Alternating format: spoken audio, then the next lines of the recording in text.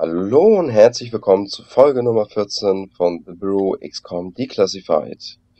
Ja, in der letzten Folge haben wir uns jetzt hier diesen Herrn hier mal geschnappt.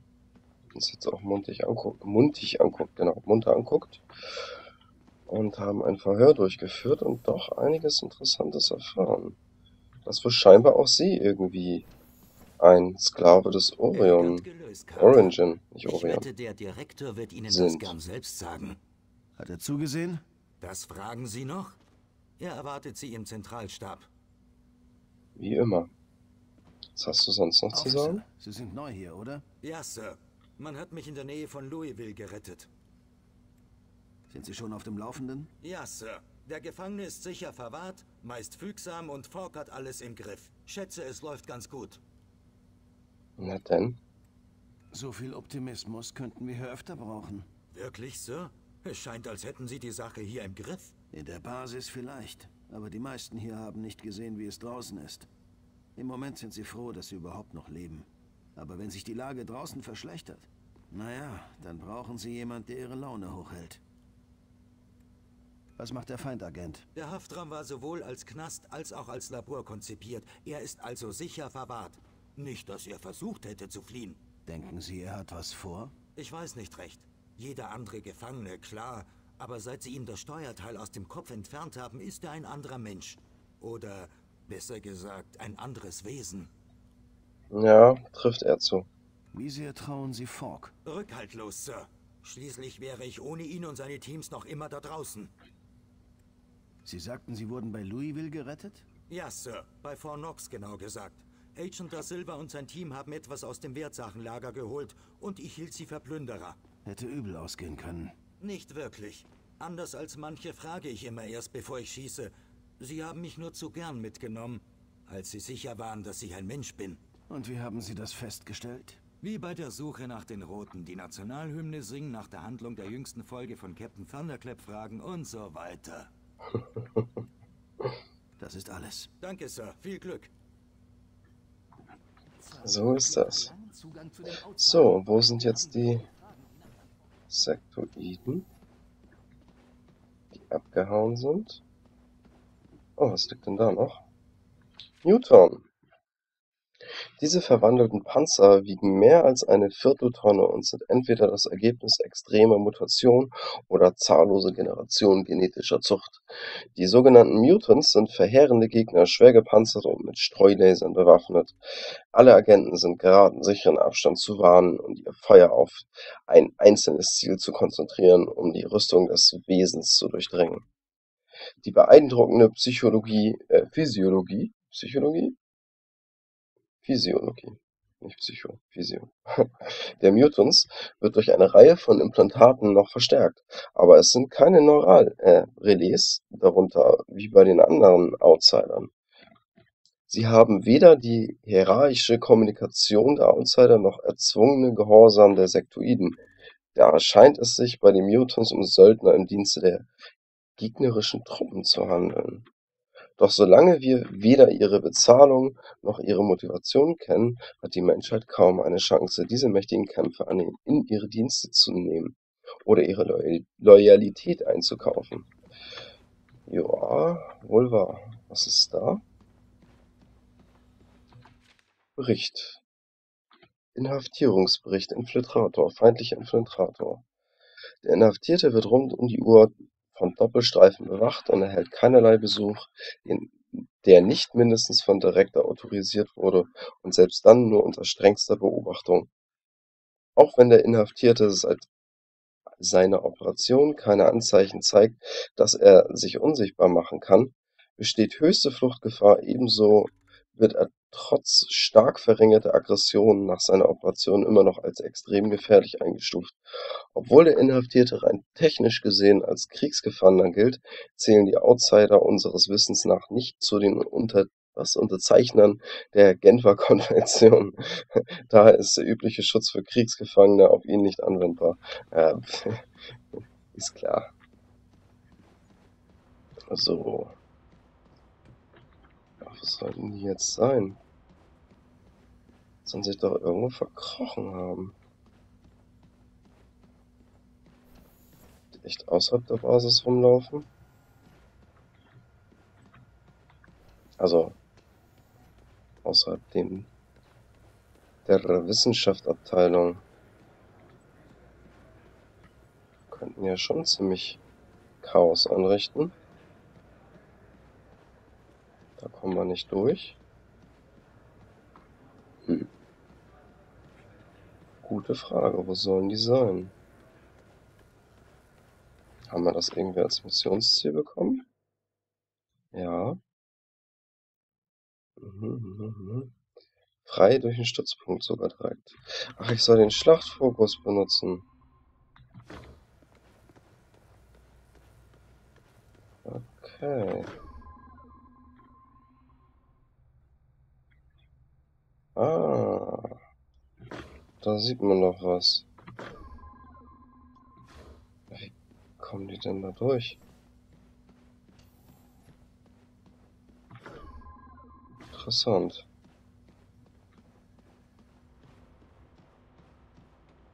Sehr interessant. Sind sie an der Decke lang gelaufen. Ja, ja, macht ja ne. Was zum Teufel? Da ist doch irgendwas drin. Das Ding ist in der Lüftung. So? Clever gemacht, Carter. Ich flute jetzt das ganze Dekontaminierungssystem. Schätze, ich habe den ersten von Heinrichs Blobs. Die ersten von Heinrichs Blobs. So. So, da lang. Oh oh.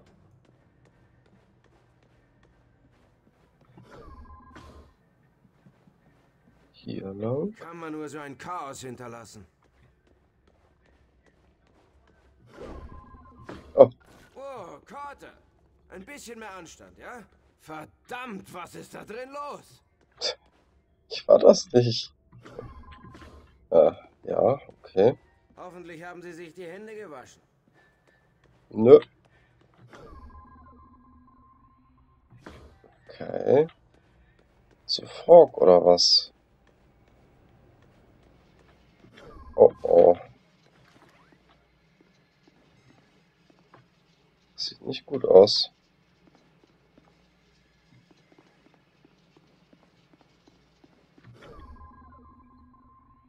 Ist auf jeden Fall da oben lang.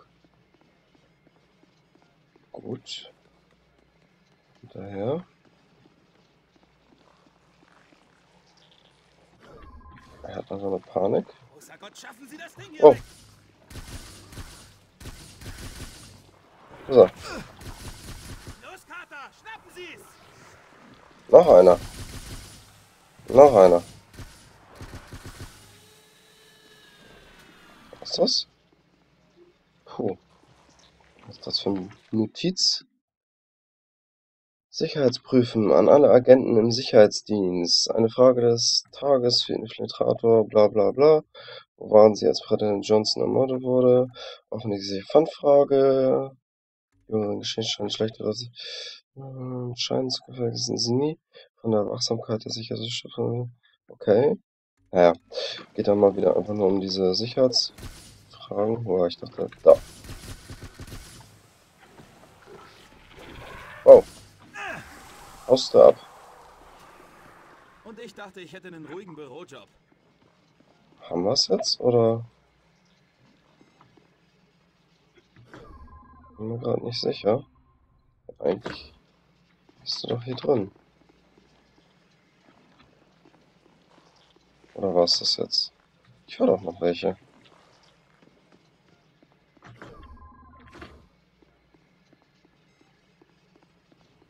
Merkwürdig.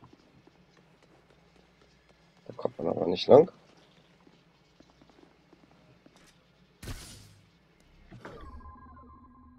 Das ist ja komisch. Und nun? Höre sie auch.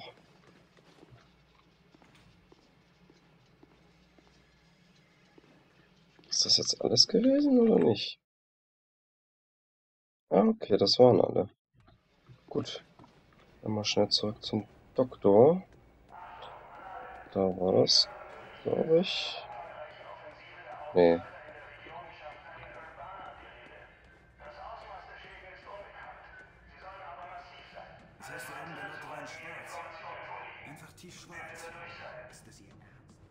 Da war's. So, dann mal schnell zurück. Und mal berichten. Schon mal dran gedacht, ein Drehkreuz einzubauen und Maut zu kassieren? Sicher, aber was sollte ich mit dem Geld anfangen? Das ist wohl wahr. So, dann geben wir ihm mal Bescheid. Gucken mal, was er sagt. Danke, danke, danke. Das wären dann alle drei, Doktor. Danke, William. Dank Ihrer Mithilfe können wir schon bald alle sonstigen feindlichen Agenten identifizieren. Ich hoffe, Sie sind in Zukunft etwas vorsichtiger. Ja, ja, natürlich. Äh, Das hier könnte Ihnen bei Bedarf nützlich sein. Was denn? Mhm. Nanotechnologie. Oh, New Hampshire. Transportauftrag. Okay. Und Nanotechnologie irgendwie, oder was, oder wie, oder wo? Verstehe ich jetzt gerade nicht ganz. Also auf jeden Fall eine neue Mission bekommen. Das ist schon mal klar. Gut, ich denke, das war's dann erstmal soweit. Ja. Dann mal zu Frog. Wegen dem Verhör ja nochmal Bescheid geben. Dum, dum, dum.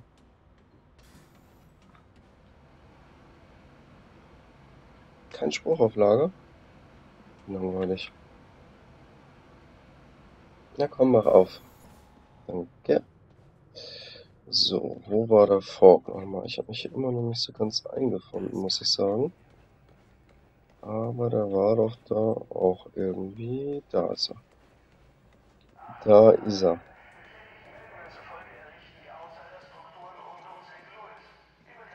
So, hier ist doch bestimmt auch noch irgendwas.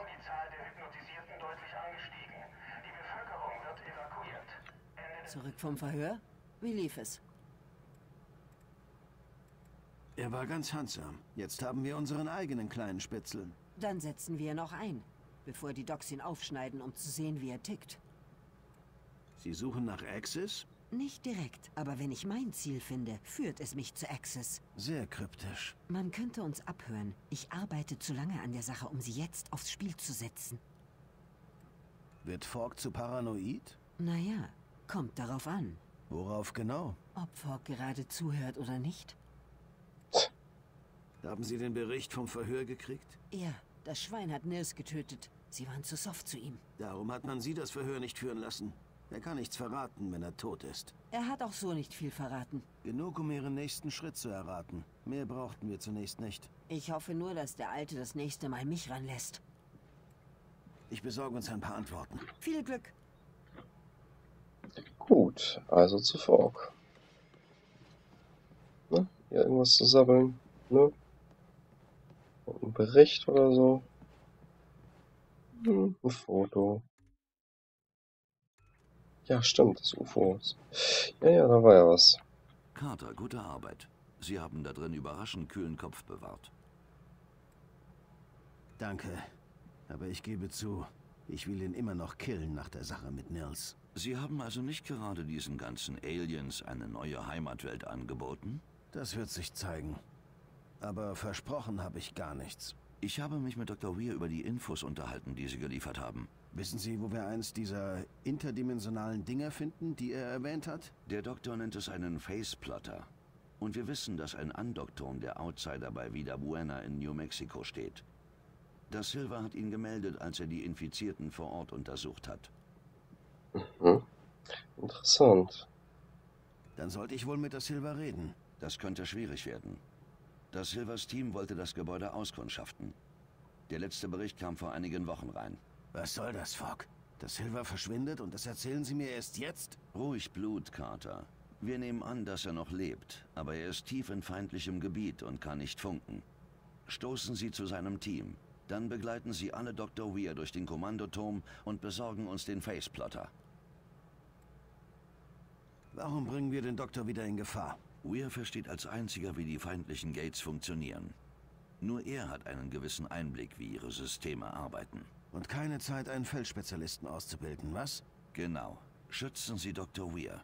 Sein Verlust wäre eine Katastrophe für uns. Was wollte das Silver überhaupt da oben? Er sollte für Dr. Weir Aufklärungsdaten über die Outsider Gates sammeln. Und jetzt holen wir uns dort eines von diesen Dingern. Was verschweigen Sie mir über diesen Ort? Vida Buena ist ein Drehkreuz der Outsider. Rund um die Uhr kommen und gehen Schiffe durch eines dieser Gates. Und der beste Ort, um an einen Faceplotter zu kommen? Ist dort, wo es vor Feinden wimmelt. Ja. Oh weh, oh weh. Können wir dem Outsider vertrauen? Er war ziemlich fertig. Wenn wir irgendwas von Lawrence erfahren haben, dann, dass das wahre Problem ihr Mosaic ist. Denken Sie, die stehen alle still, wenn wir Mosaic vernichten? Ich würde nicht darauf wetten. Aber ihr mutmaßliches Kommunikationsnetzwerk zu zerstören, würde uns einen echten Vorteil bringen. Viel mehr kann man nicht verlangen. Okay, das war's erstmal. Ich lasse Dr. Weir informieren, dass Sie startklar sind. Und Carter? Ja, Sir? Viel Glück. Ja, Sir. Muss ich jetzt wirklich schon direkt die Story-Mission weitermachen? Ich würde ja gerne noch ein bisschen die Nebenmission erstmal machen. Die zwei, die da noch waren. Beziehungsweise jetzt sogar schon drei, wenn ich mich nicht irre. Das ist schon ein bisschen ärgerlich. Hm. Gucken wir mal. Sie können nicht alles selbst machen. In einigen Fällen können Sie stattdessen Agents losschicken.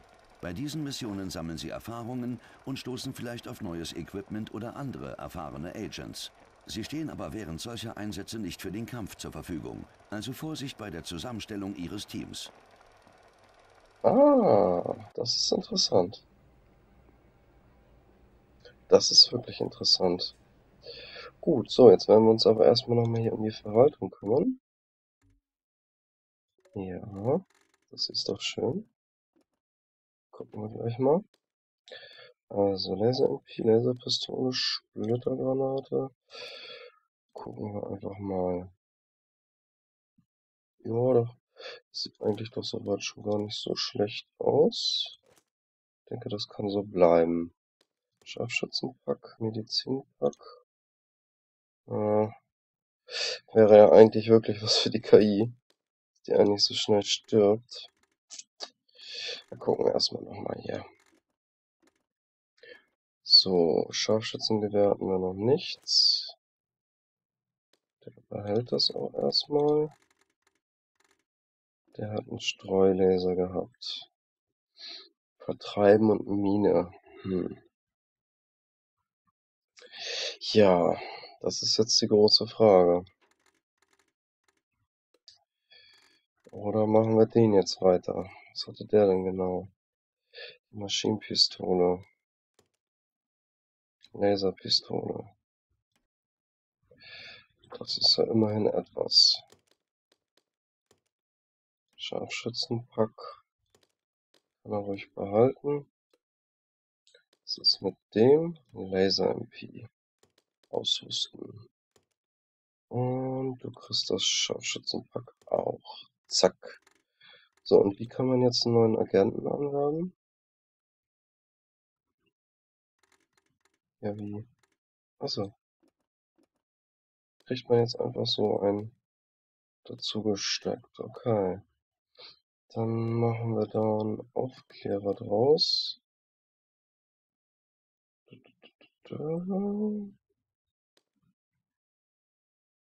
Mhm. Das ist ja interessant.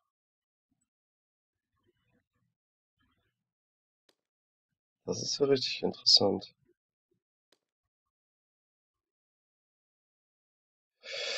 Ja, was nehmen wir denn da mal? Technische Ausbildung? Nee, ich würde sogar schon fast sagen, der hier. Zack. Dann Scharfschützengewehr. Und das Scharfschützenpack. Äh. Genau. Nein. Verdammt. Wie heißt denn der jetzt? Tom Nair. Aufklärer. Okay. Dann bleibt der so. Machen wir mal Zufall. Ja. So. Gut. So, jetzt nochmal hier eben. So. Ja, und jetzt? Warum? Achso. Mhm. Ah, so funktioniert das. Alles klar. Diesen Agenten anwerben, bist du sicher? Ja. Ah, jetzt haben wir ihn. Alles klar. So, und dann machen wir uns noch ein. Pionier. Mit den Fähigkeiten. Schon schön ausrüsten. So. Ja, ist okay. Und rekrutieren. So, 1, 2, 3. Jetzt brauchen wir nochmal zwei. Dann noch einen Supporter. Ebenfalls mit der technischen Ausbildung. Das ist, denke ich mal, eine ganz gute Sache. Fähigkeiten häufiger einsetzen ist doch immer gut. Bestätigen und rekrutieren.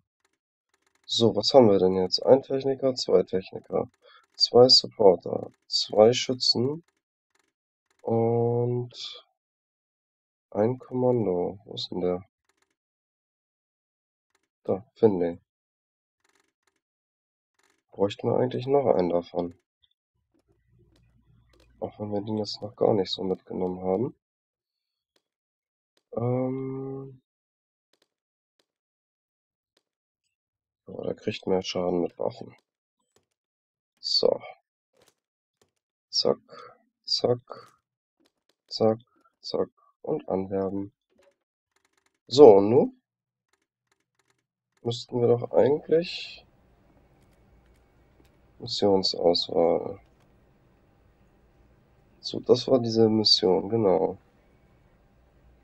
New York, das hatten wir schon. Agenteneinsatzmission. Missionskomplexität 5, äh 7, 7. Operation Grifter, kleine Operation. Größere Operation. 5. Nachricht von der Front. Und noch eine kleinere Codeknacker. Aufrüsten. Ich würde mal sagen, da würde ich jetzt gerne die Agenten hinschicken. Genau. Den. Ach, das ist so ein bisschen Assassin's Creed Style. Könnte man das dann auch so machen, wenn die noch nicht stark genug, oh, nicht stark genug waren. Genau. Achso. Starten. Genau, die machen das jetzt. Okay. So, und wir machen jetzt mal die Mission Nanotechnologie. Technologie, genau. Äh, wie jetzt? Da wollen wir doch jetzt aber hin.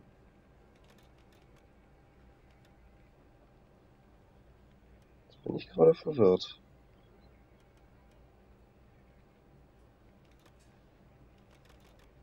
Wieso geht das jetzt nicht?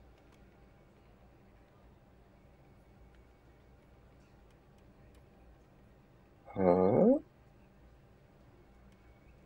Ach so, diese kleinen. Ah, ich verstehe. Die können die nur machen. Das ist nur für unsere Agenten. Und diese hier sind für uns. Alles klar. Wächterpack. Ah. Ah, ich verstehe. Gucken wir mal, was gibt es hier? Ein Aufklärer Rang 3. Was gibt es da? Treffsicherheit. Keine richtigen Hände. Ach so. Ja. Das ist doch mal interessant. Dann würde ich mal sagen, beschützen wir die Studenten hier, oder? Um erstmal überhaupt ein bisschen die hochzubekommen. Ich denke, das ist schon nicht wirklich dumm. Hm. Finlay geht noch mit. Genau. So. Und wir suchen uns jetzt nämlich die hier. Codeknackern aufnehmen. XCOM hat den Kontakt zu, den, äh, zu einer wichtigen Kommunikationseinrichtung verloren, deren Aufgabe das Abfangen und die Entschlüsselung von Outsider-Übertragungen war. Begeben Sie sich zur Anlage und nimmt Verbindungen zu den dortigen Mitarbeitern auf. Die machen wir nämlich jetzt. So.